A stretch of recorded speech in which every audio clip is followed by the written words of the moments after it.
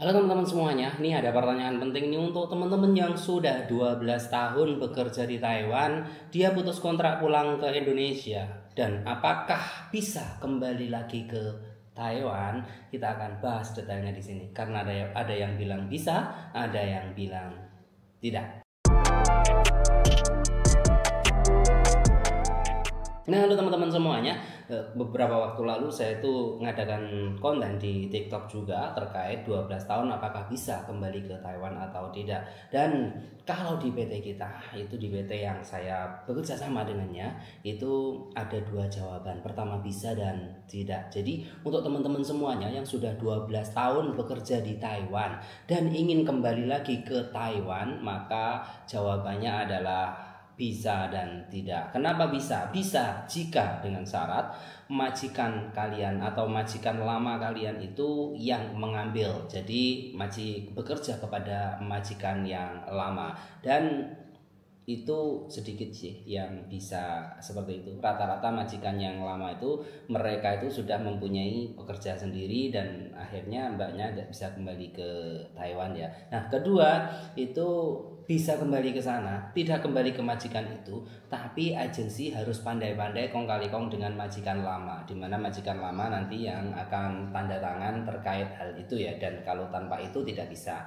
Jadi itu caranya jika sudah 12 tahun bisa kembali ke Taiwan. Kemudian yang bertanya, kan PRT 14 tahun mas? Iya betul, PRT itu jatahnya tanpa PTTM itu 14 tahun. Tapi jika sudah teman-teman 12 tahun di sana, sisanya kan cuma 2 tahun. Sedangkan kontrak dari Indo itu kan 2 plus 1, 3 tahun kan. Jadi kalau kontraknya cuma dua tahun rata-rata memang tidak mau majikan itu mengambil karena biaya mengambil PMI itu juga tinggi sekali. Kalaupun ada yang bisa ke sana, caranya yaitu majikan yang lama itu dia tanda tangan dan setuju gitu loh. Kalau tidak seperti itu tidak bisa kembali gitu ya.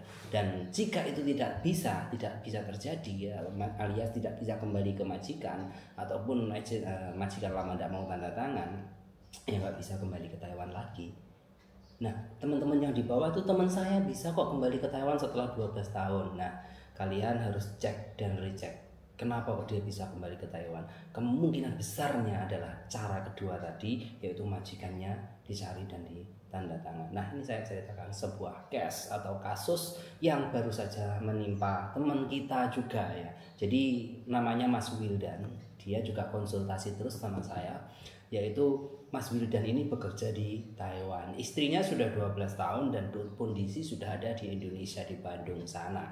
Nah, istrinya Mas Wildan ini daftar ke 1 2 3 4 PT itu semuanya ditolak karena dia tidak kembali kepada majikannya yang lama. Nah, kemudian dia nyari-nyari lah temu di media sosial, ada seorang penerjemah lah kelihatannya calok juga ya di Taiwan menghubungilah istri Mas Wildan saya bisa membantu kamu kembali ke Taiwan. Tidak kepada majikan lamamu. Oke lah merasa bisa kembali ke Taiwan kumpul sama suami lagi ya.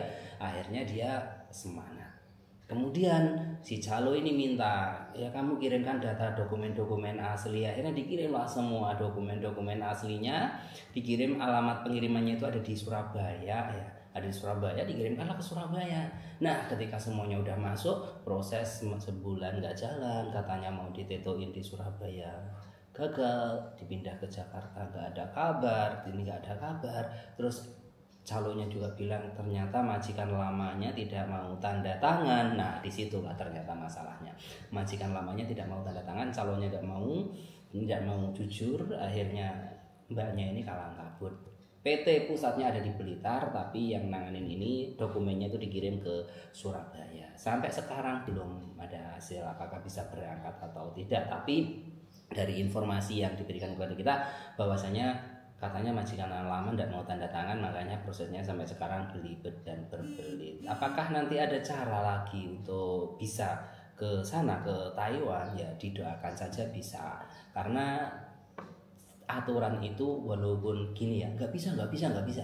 Tapi biasanya ada satu dua orang itu yang bisa berangkat yang dia mungkin pakai orang dalam atau apa ya kita nggak tahu. Tapi itu faktanya. Jadi untuk teman-teman semuanya hati-hati hati-hati dengan janji-janji calo jika teman-teman sudah pada posisi seperti itu daftar ke PT dan katanya bisa bisa bisa teman-teman harus buat surat pernyataan surat perjanjian dengan PT tersebut. Bahwasanya jika nanti saya tidak bisa berangkat saya tidak dibebankan biaya apa pun. Karena di awal sudah diceritakan sudah jujur. Kecuali teman-teman waktu daftar nggak jujur itu beda aturannya. Tapi teman-teman kan sudah jujur. Jadi harus seperti itu. Jadi teman-teman tidak dirugikan. Dan PT juga tidak merugikan kita. Karena kebanyakan calo PT itu ketika ada orang yang daftar mereka main terima aja. Masalah keterima masuk tidaknya bisa bekerja ke luar negerinya dipikir nanti. Karena kenapa? Biasanya permainan dari calo sponsor dan juga PT ketika teman-teman sudah daftar langsung dimintai berkas asli kemudian di biodata gini-gini jebret oh ternyata nggak bisa ke Taiwan. Biasanya dipaksa ke negara lain ke Hong Kong atau ke lain Singapura sebagainya. Nah kalau tidak mau tebus data bayar lagi. Nah itu permainan dari calo dan sponsor. Jadi untuk teman-teman semuanya yang mau ke luar negeri hati-hati. Jangan kemakan bujuk rayu calo dan sponsor. Dan teman-teman kalau bisa daftar sendiri ke PT tapi sebelum datang ke PT jangan bawa dokumen asli dulu. Kontak-kontak aja lewat WA tanya-tanya aja saya dapat berapa potongannya berapa. Jika uang saku tanpa uang saku saya dapat cashback. Tidak kalau dengan uang saku potongannya berapa? Teman-teman itu wajib tanyakan ya ini informasi penting tolong dikasih tahu ke teman-teman yang saat ini sedang mau berproses ke luar negeri biar teman-teman yang ada di Indonesia tidak mudah termakan calo tidak mudah terbohongi oleh calo dan PJTKI yang tidak bertanggung jawab. Di luar sana masih banyak yang bertanggung jawab